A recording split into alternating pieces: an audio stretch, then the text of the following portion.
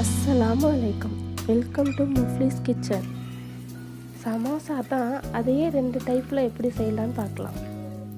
வித்தியாசமாக செஞ்சு அசத்தலாம் அதுக்கு ரெண்டு கப் மைதா மாவு எடுத்திருக்கேன். கொஞ்சமாக உப்பு ஒரு ஸ்பூன் எண்ணெய் விட்டு நல்லா கிளறி விட்டுக்கலாம். கொஞ்சம் கொஞ்சமாக தண்ணி சேர்த்து சப்பாத்தி மாவு பதத்துக்கு பிசைஞ்சு வச்சுக்கலாம். பதினஞ்சு நிமிஷம் அது இருக்கட்டும். அதுக்குள்ளே நம்ம ஸ்டஃபிங் ரெடி பண்ணிடலாம். ரெண்டு உருளைக்கிழங்கு வேக வச்சு எடுத்துருக்கேன். அதை நல்லா மசிச்சு விட்டுக்கலாம். அதோட அரை கப் வெங்காயம் கால் கப் துருவிய கேரட் ஒரு பச்சை மிளகா கைப்பிடி அளவு மல்லித்தலை எடுத்துக்கலாம்.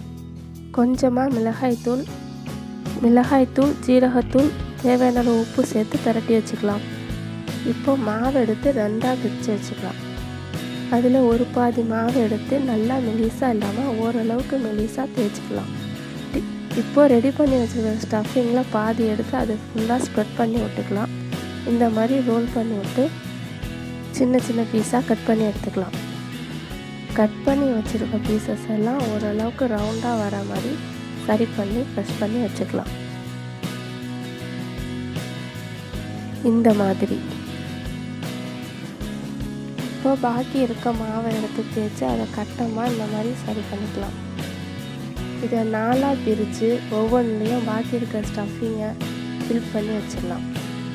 அதுக்கு முன்னாடி நம்ம சேனலில் சப்ஸ்கிரைப் பண்ணாதவங்க சப்ஸ்கிரைப் பண்ணிக்கோங்க லைக் பண்ணுங்கள் ஷேர் பண்ணுங்கள் இப்போ அந்த ஸ்டஃபிங்கோட அந்த சீட் எடுத்து இந்த மாதிரி நல்லா ப்ரெஸ் பண்ணி விட்டு நாலு சைடும் நல்லா அழுத்தி விட்டுக்கலாம்.